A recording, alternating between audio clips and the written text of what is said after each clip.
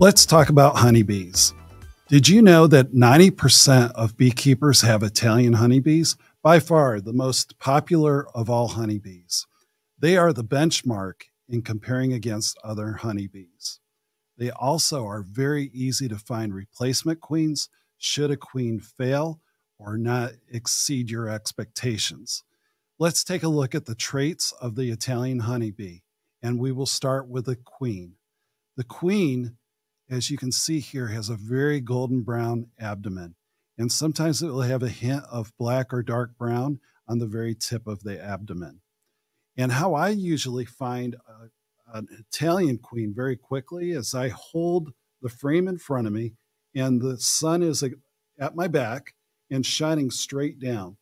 And you should be able to find that the, the abdomen of the queen lights up like a Christmas tree, and you'll be able to find her very, very quickly.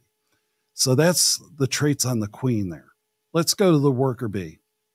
The worker bee has anywhere from four to five stripes, and typically those are black, and the rest is a golden brown.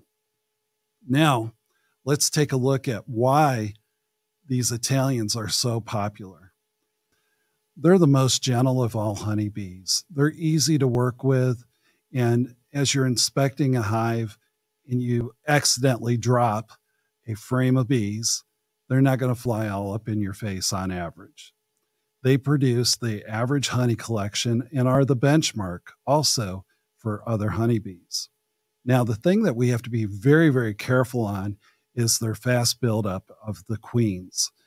In the early spring, when the maple pollen starts coming into the hive, we have to be very careful as beekeepers because that's when the, the queen gets the turbo boost on and is producing a lot of brood. That can be very, very um, troublesome to a new beekeeper by not adding an additional super to the hive and thus they do not have the room to grow within that hive. Now, if that happens, they're going to swarm.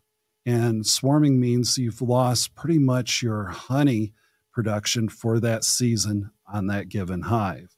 So you have to be super, super careful on that side.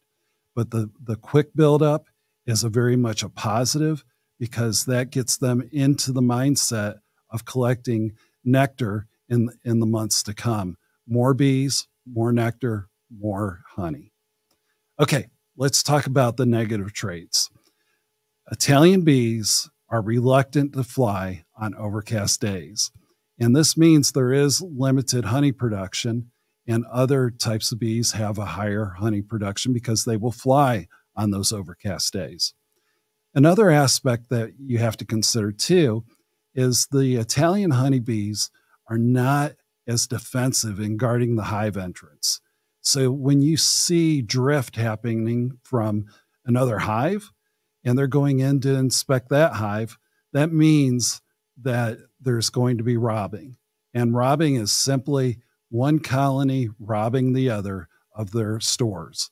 That can be pollen, it could be nectar, it could also be honey. So th that's all part of the robbing process that can and will happen if you have a weak defense on your guard bee.